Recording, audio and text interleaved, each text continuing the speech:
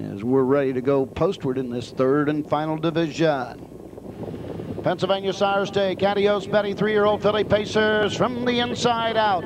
Cosmic Express, Amber Fields Verisimilitude. Keystone Vanessa, Western Bug, BT's Luther, First Taste, La Diabla Hanover, and Ain't No Fooling Around. Gate swings around the turn, and there they go. All stride before the start. BT's Luther.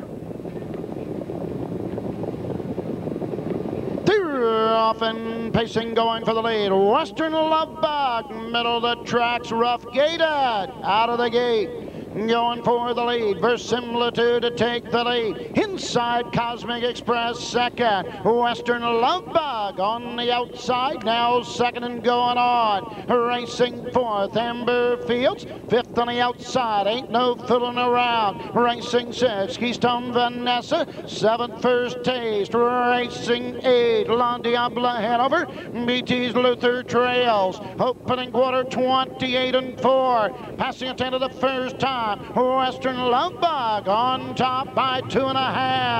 Verisimilitude second. Racing third. Cosmic Express into the turn. Amber Fields fourth. Ain't no fooling around. And Bill Fay come to the outside fifth. Going to the halfway point. Racing up sixth. On the inside. That's Keystone Vanessa. Half and 58 and 1. 29 and 2. Second quarter. Cosmic Express and Dick Stillings on the outside. After the leader, Western Love Bug. Verisimilitude third. Racing up on the outside. Ain't no fooling around. Inside, Amber Fields at the three quarter mark. Cosmic Express has the lead by two and a half. Three quarters, 126. 27 and 4 backside and Cosmic Express opens up by three and a half. Western Bug second on the outside. Amber Fields down the stretch they come. Cosmic Express. Amber Fields closing on the outside. Coming to the wire. Cosmic Express. Amber Fields. It's Amber Fields.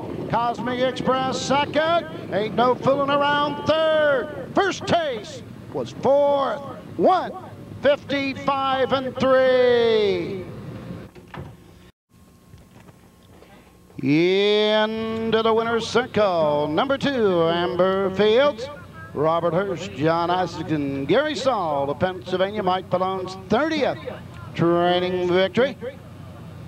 Chris Blaine, don't tickle her too much now, Doug. Doug Snyder's 62nd, Mike Pallone's 30th win on the season. Second two-minute performance this season for the three-year-old filly Western Hanover to Tina Tyler, taking a lifetime mark. 155, three fifths. Final half, 57 and two. Final quarter, 29 and three. Wow, big payoffs there. Results are official.